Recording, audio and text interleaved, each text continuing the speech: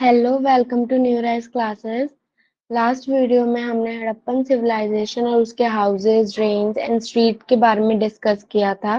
सो so, अब आज का हमारा जो नेक्स्ट टॉपिक है वो है लाइफ इन द सिटी यानी कि नगरीय जीवन। हड़प्पा की सिटीज़ में बड़ी ही हलचल रहा करते थे। वहाँ के लोग हमेशा कहीं ना कहीं बिज़ी रहते थे। यहाँ पर लोग नगरों की स्पेशल बिल्डिंग्स की प्लानिंग में लगे रहते थे।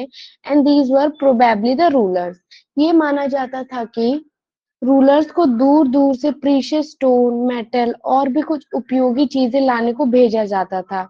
और मे बी जो रूलर्स थे वो ब्यूटीफुल बीड्स गोल्ड और सिल्वर के ऑर्नामेंट जैसे वैल्यूएबल ऑब्जेक्ट्स को अपने पास रख, इन सिटीज़ में स्क्राइब्स यानी कि लिपिक होते थे, जो कि सील्स पर और मे बी कोई डिफरेंट डिफरेंट चीज़ों पे लिखने का काम करते थे।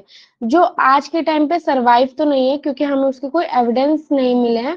बट वहाँ की जो चीज़ें देख के पता चलता है कि जो स्क्राइब्स थे, वो चीज़ों पे लिखा करते थे।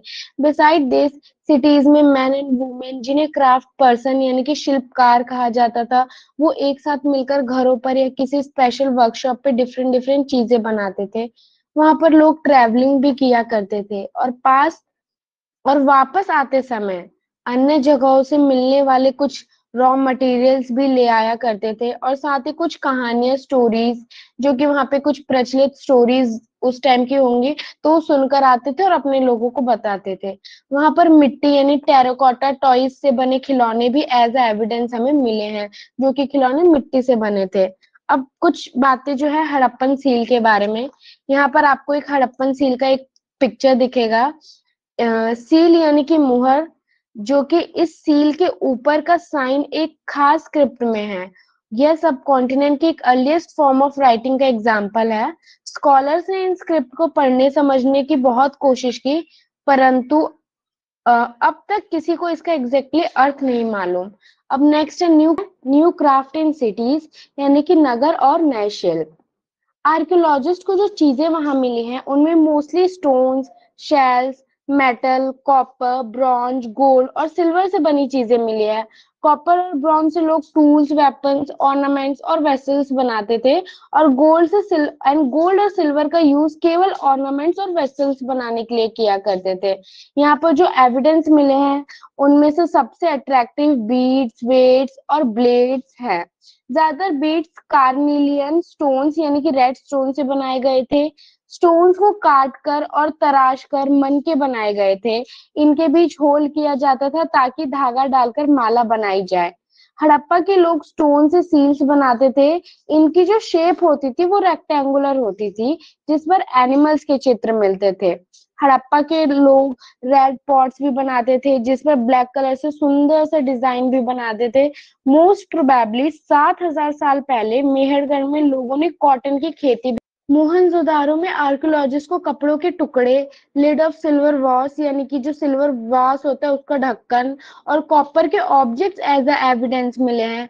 टेराकोटा और फैंस यानी कि पक्की मिट्टी तथा फैंस का यूज़ थ्रेड को स्पिन करने के लिए किया जाता था।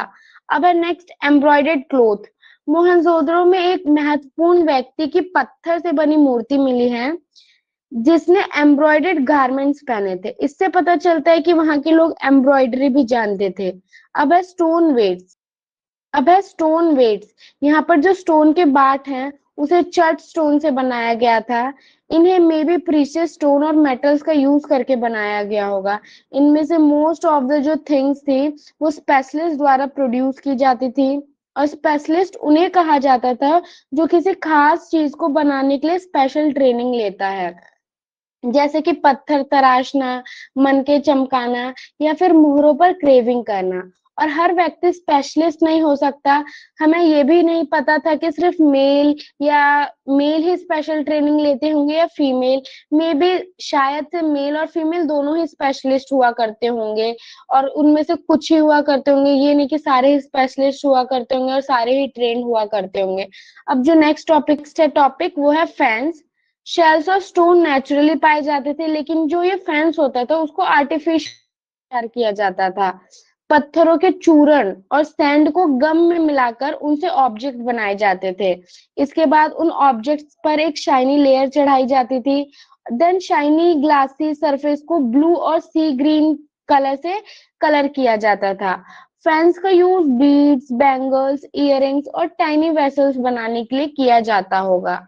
अब फैंस तो इतना ही। अब इसके जो आगे का पार्ट है, वो हम नेक्स्ट वीडियो में कवर करेंगे। So thank you please subscribe my channel and like my video